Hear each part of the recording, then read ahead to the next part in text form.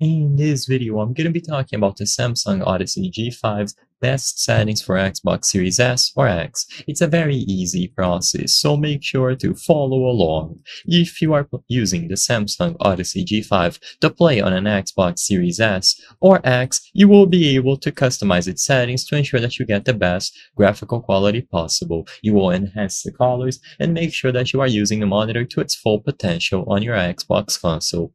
So all of this can be done by using the buttons below the monitor. By using the buttons located here, you will be able to access the menu and change a lot of settings about it. Of course, there are some settings that you will be changing on the actual Xbox settings, but to start, you should always use this menu here.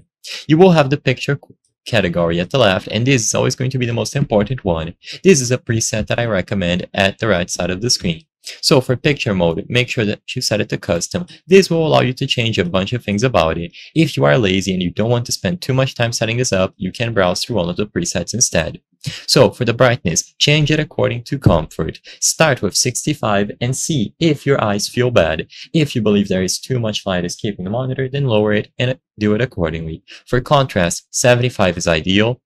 Sharpness should be set to 48, and of course, you can do this according to your preference if you like a sharper image, but 48 is going to be the sweet spot for the color. Do 49, 49, and 48 for RGB. This will take a little bit of the bluish tint away.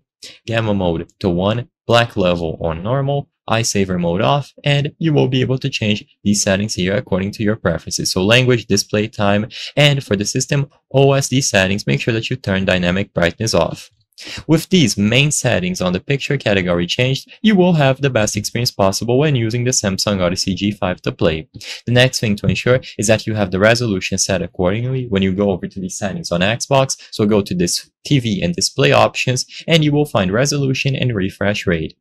So, depending on your specific G5 model, you will have access to 1440p. And this is very important because this will be the best resolution possible to play and make sure that you increase the refresh rate as high as it can go.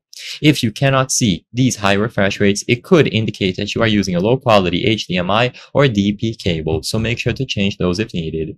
I hope I was able to help you on the Samsung Odyssey G5 best settings for Xbox Series S or X. If this video helped you, please be sure to leave a like and subscribe for more very easy tips. Thank you for watching.